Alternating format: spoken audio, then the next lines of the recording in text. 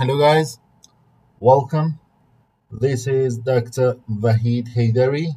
I'm a lecturer in cybersecurity networks at Staffordshire University, London Digital Institute. Today, I'm going to run a virtual open evening whereby I'm going to talk about cybersecurity BSc course we offer here at SUL. I would like to talk about cybersecurity and body of knowledge for cybersecurity. First, let's see what NCSC is. UK's National Cyber Security Centre, N for National Cyber C Security S and C Centre is the independent authority on cybersecurity in the UK. Very recently, they have published what we know as a CyBOK or cybersecurity body of knowledge and the aim was to inform and underpin education and professional training for cybersecurity sector this project is known, CyBOK, is known as a culmination of international cybersecurity effort over the last three years. Very important project, a team from UK academia working along with international cybersecurity community and at the end they came up to this developed guide to cybersecurity body of knowledge known as CyBOK. This is a major landmark, and for the first time in history, we have in hand a characterization of breadth and depth of cybersecurity. And as we will see later, it ranges from human factors all the way through the hardware security. We see what they are, what they are looking for. So this first full version of cybersecurity body of knowledge can be used for us educators and academics as an authoritative guide to a foundational knowledge underpinning cybersecurity. Based on that, we can design our courses and our modules in the realm of cybersecurity. The illustration here is very important. It shows you the classification or categorization out there for cybersecurity as a result of this research project. After three years worth of study by NCSC. Starts from human, organizational, and regulatory aspects. Black band on the left. So it consists uh, law and regulation, privacy and online rights, human factors, risk management and governance. And then the opposite side, we have attacks and defenses. They include malware and attack technologies, adversarial behaviors, forensics, and finally security operations and incident management. Third category of cybersecurity is system security. Areas like operating systems and virtualization security, AAA, AAA, cryptography, distributed system security, hardware security, network security, and web and mobile security. The interesting point with the last three subcategories of system security is that they have overlaps. So hardware security overlaps with infrastructure security, as you can see. Network security is a subject to be discussed not only in system security but also in infrastructure security, so it has overlap there. And web and mobile security, as you can see, it overlaps with software and platform security. The fourth category is infrastructure security. It includes hardware security and network security. Again, they have over, overlap with system security, as just discussed. The third category is cyber physical system security, and the fourth category is physical layer and telecommunication security. They're all categorized under infrastructure security term. Then we've got fifth class of cybersecurity, and that is software and platform security. The first area to be covered is web and mobile security. As seen previously, it overlaps with system security. Second subclass is software security, and third is secure software life cycle. This is important because this is the first time in its history that it's been written down to make it a real enabler for developing cybersecurity as a profession. We have agreed on the characteristics of different areas within cybersecurity. Based on that, we categorize or classify it. It's been developed by community and it is for the community. And that's the plus point here with cyber. It's the basis for describing course content and of course for certified undergrad and postgrad cybersecurity degrees and programs. Uh, it can be used for any certified training to make sure that the provisioning of the education is very much matched against the specifications of CyBOK. So let's see more details what each of these classes and subclasses uh, cover. Aside from human organizational and regulatory aspects, uh, from the left hand side again, the first subclass, law and regulation, it considers the statutory requirements, compliance obligations, ethics, data protection, and the developing doctrines on cyber warfare. Then we have privacy and online rights, and there we're going to talk about protecting personal information. Also, considerations about censorship and circumvention, covertness, electronic uh, elections, and how to preserve privacy in payment and identity systems. Then we've got human factors, whereby we talk about behavioral factors impacting security. So we talk about the security culture and security awareness, as well as the importance of security controls on user behaviors on the human factors uh, subclass of human organizational and regulatory aspects of cybersecurity. Then the fourth subcategory is risk management and governance. So here, security management systems and organizational security controls are discussed. This includes standards, best practices, and how to mitigate risk after video risk assessment. Then I move on to what you see on the right hand side under attacks and defenses, the black bar on the right hand side. It starts with malware and attack technologies. So technical details of exploits are discussed here and also technologies and methods associated with discovery and analysis of the exploits will be uh, detailed. Then we've got adversarial behavior. There we investigate the motivations and behaviors behind the attacks by attackers.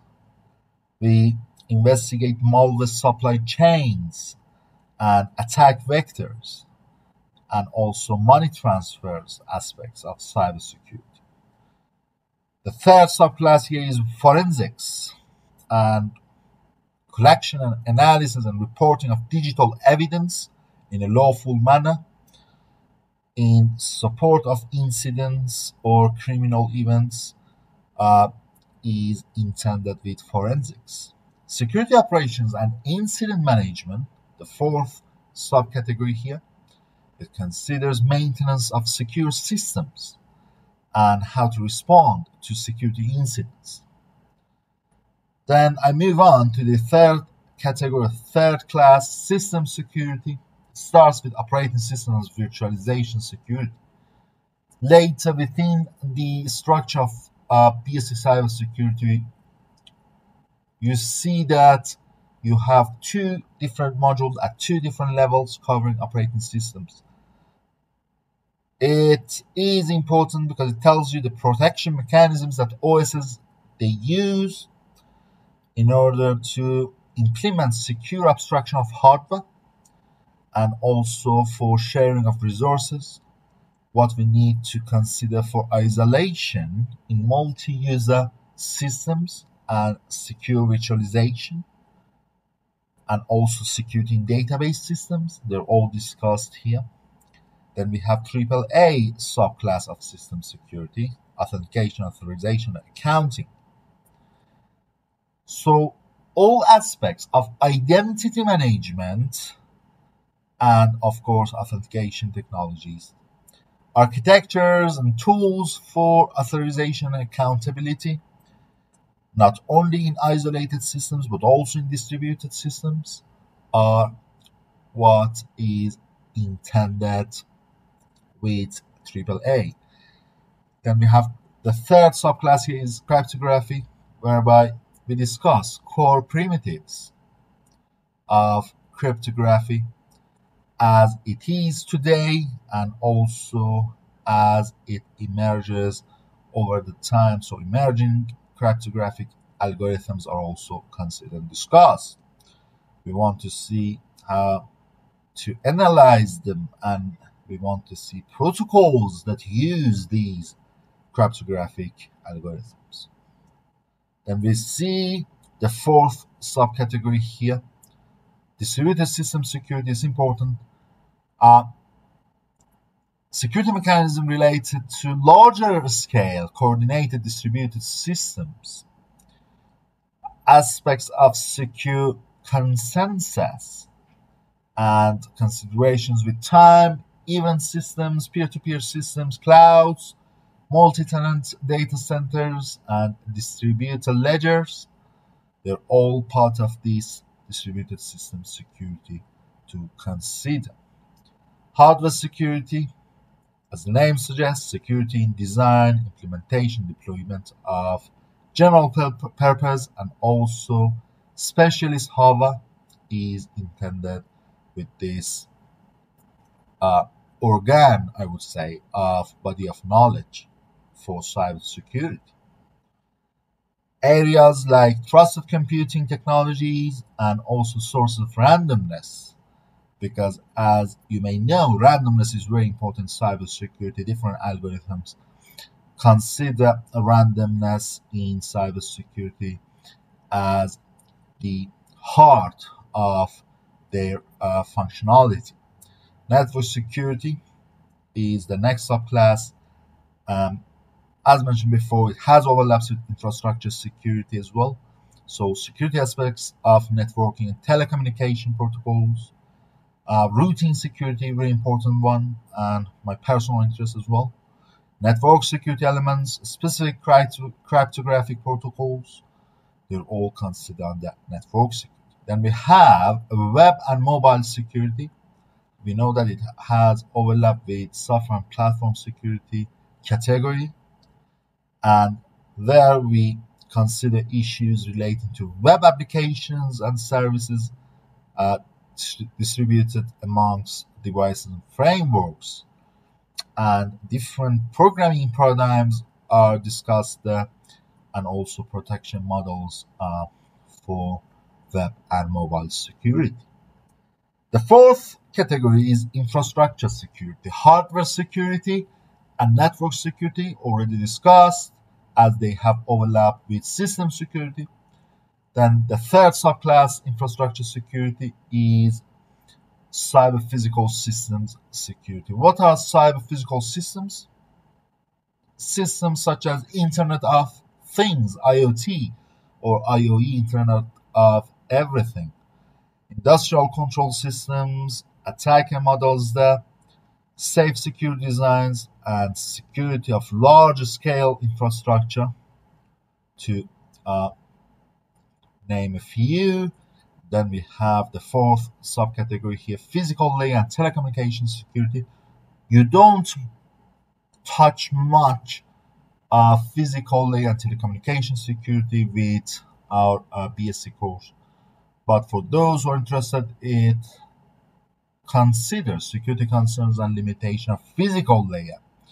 So aspects like radio frequency encodings and transmission techniques, unintended radiation and interference can be discussed under physical layer and telecommunications security. Then we move on to the fifth and final category of cybersecurity is software and platform security. We know about web and mobile security, the first subclass or sub uh, category, as it overlaps with system security. I already discussed that. Second subclass here is software security. We want to see the programming errors that result in security bugs, and we want to avoid them. So techniques for avoiding these errors will be discussed here. Um, you have two modules at least to cover different uh, techniques for software security. So best coding practices to ensure secure software, improved language design and tools, detection of different uh, programming errors in this area for current systems. Uh, they are all considered under security. And the last subcategory of last category uh, here is secure software life cycle, where in detail, we see application of security software engineering techniques in whole systems development life cycle. That results, of course, in software that is secure by default or by design, and to make sure that security is not an add-on uh, for the system later.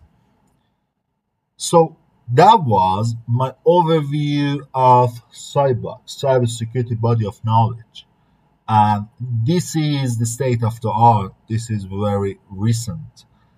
Now that we have a good view a cyber, cybersecurity body of knowledge, now we are in a good state to go to next slide, whereby I introduce 12 different modules that we offer as part of BSc Cybersecurity at Staffordshire University London.